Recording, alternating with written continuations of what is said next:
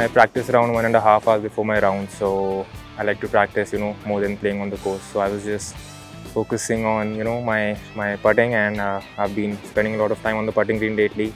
So you know that one hour, one one hour of delay, you know, just gave me some extra boost in my putting. Uh, you know, made five birdies and uh, hit some really good shots, and uh, you know, converted all my birdie chances, hold all the eight, ten footers, you know, which you have to hold to keep the momentum going on, and that that, that was just the case.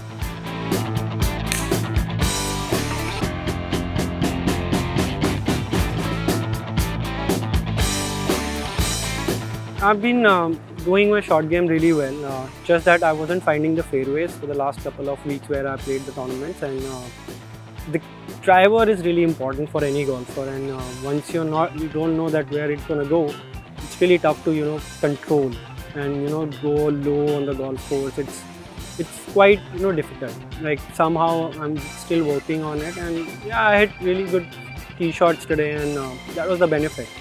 Once you know that you can put it on the green and hold the putt, you're there.